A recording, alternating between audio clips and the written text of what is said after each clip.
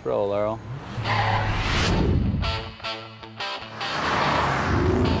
Hey, boss. Pull over up here. Counselor? Eddie, we had a deal. Either pay me or go with a public defender. Another five grand? Ten. Oh.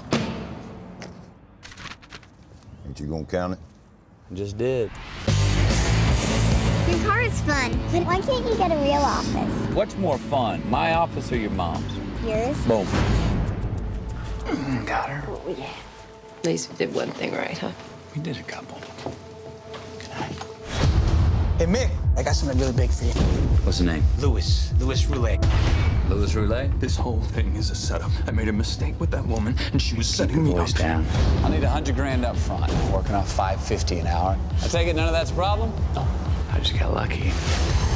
Charges against my son are ridiculous. So is that woman. Regina Campo, part-time actress, part-time office temp. and hoping to retire after suing my client.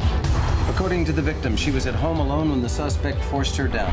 You didn't strike Miss Campo with your left fist. No. Threatened to kill her. No, I am not that guy. I don't know, Mick. This kid feels wrong to me.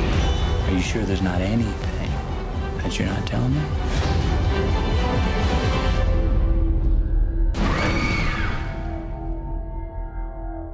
Nothing.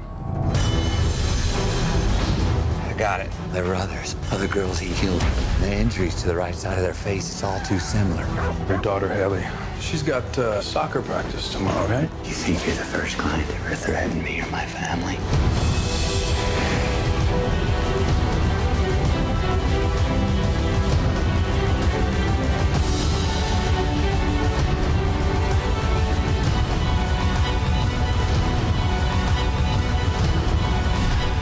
I'm trying to make it right.